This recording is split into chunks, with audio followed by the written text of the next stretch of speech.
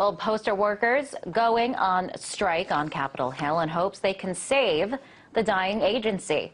Congress has plans in the works to slash much of the funding to the agency and mass layoff workers.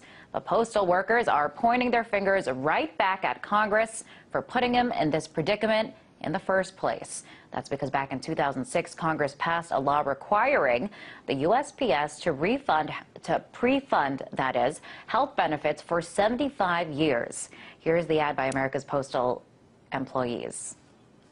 The Postal Service is critical to our economy, delivering mail, medicine, and packages. Yet they're closing thousands of offices, slashing service, and want to lay off over 100,000 workers. The Postal Service is recording financial losses, but not for reasons you might think. The problem? A burden no other agency or company bears. A 2006 law that drains 5 billion a year from post office revenue, while the Postal Service is forced to overpay billions more into federal accounts. Congress created this problem, and Congress can fix it. Now, workers are firing back to make sure they can continue to deliver our mail, something they've been doing for centuries. To talk more about this, I'm joined now by Chuck Bader. He's the treasurer for the American Postal Workers Union. Welcome, Chuck. Thank you for having us. So, postal workers blame Congress for putting the agency in danger. Why? Exactly. In 2006, Congress passed a bill called the Postal Accountability and Enhancement Act. One provision of that bill requires the Postal Service, the only agency, government or private, anywhere in America, to pre-fund future retirees' health care benefits 75 years into the future, which burdens the U.S. Postal Service with a payment of $5.5 billion per year. And certainly that's a lot of money um, and a big burden to bear. Why single out the Postal Service? The honest fact behind the scenes that we need to make the American public aware of is there are interests, corporate interests, who are trying to privatize the Postal Service. By passing this provision in the law in 2006, their intent and their sole intent was to drain the Postal Service financially to its breaking point, which they have succeeded in doing. But we need the public to fight back and ask that that law be repealed. And so, who exactly would stand to benefit from privatizing the Postal Service? Corporate America, and we believe specifically Congressman Darrell Issa, who is the author of the bill that would destroy the Postal Service, H.R. 2309. Speaking of Congressman Darrell Issa, um, we kind of have a chart here to show how to follow the money. Um, we have this list of the top 20 campaign contributors to Representative Issa. This is between 2009 and 2010. And if you look over at number 18, wouldn't you know it, FedEx corporations, they donate, donated over $10,000 to his cause. Um, and more recently, FedEx kicked in $2,500 in support for him. So um, I guess Representative Issa, to be fair, he also did get some funding from the post office. However, their representatives now say they will not receive another dime. So, I mean, it's pretty clear that if you follow the money, that this could be could explain things. Oh, sure. And there are also billionaires behind Congressman Issa as well trying to push this issue. Uh, okay, and um, you know uh, the options, like like we just mentioned, uh, mm -hmm. UPS and, and, FedEx, they presumably because they would be driven by profits, right. would only to deliver to places that are profitable.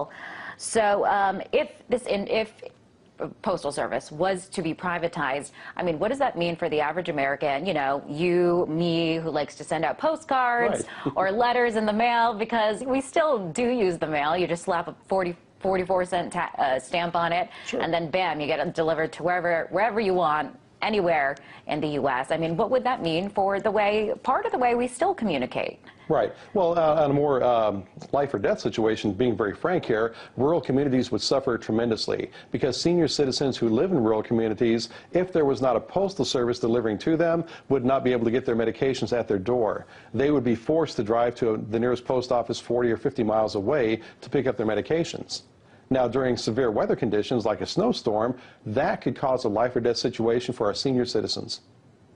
And so, what do you think about, uh, I guess, maybe kind of taking a look at the other side of the argument? Uh, okay. The fact that uh, uh, these days a lot of people, the, the, way we communicate has changed. Sure. And, well, you know, we text, we, we communicate via email instantaneously, uh, and this has become a main means of communication. Um, and because of that, we don't use mail to the same extent that we did back in the day. So, so what do you make of that argument? The fact that, again, uh, lower income Americans will suffer because without a postal service, they would not be able to send those bills. The reason 25% of Americans, one in four Americans, does not have any internet access whatsoever. They rely upon the postal service to make their house payment and their credit card payments on time.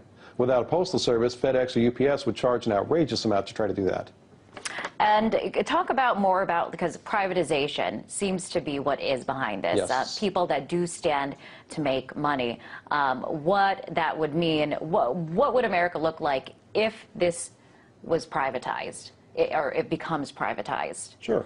What it would look like is a 75%, three-fourths reduction in door-to-door mail delivery.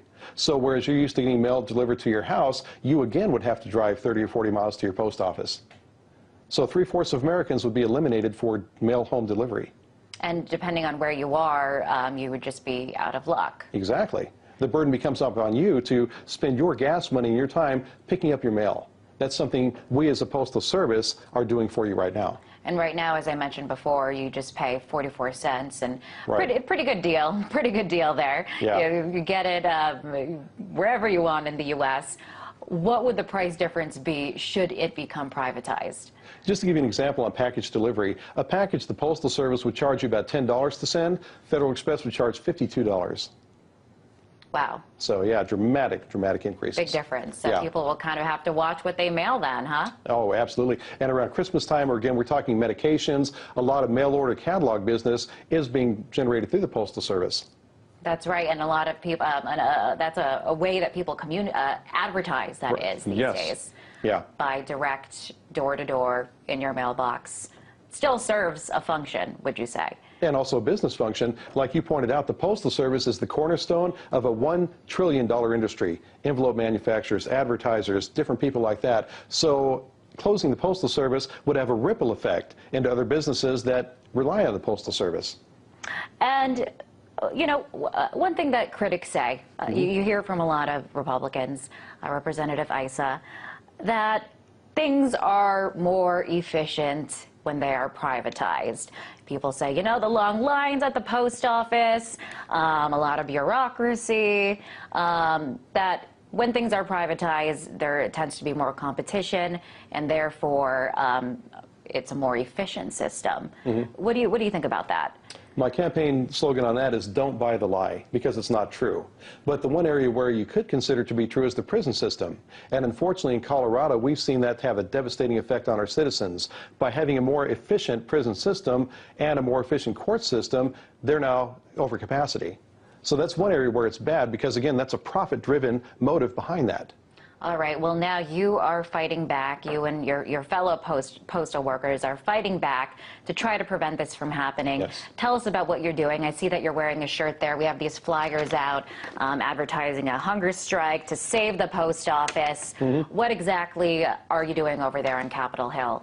We're trying to draw a visual connection in the fact that we're starving by not having food in the same way that Congress is starving the Postal Service by not repealing the pre-funding requirement. Congress's failure to repeal the pre-funding requirement cost the Postal Service $15 million every day that they wait to take action. That's why we're doing something dramatic by having a hunger strike to tell Congress we can't afford to wait. As we, as protesters, are starving every day, you, as Congress, are starving the Postal Service by failing to repeal the pre-funding requirement. And how long do you plan on going on strike for?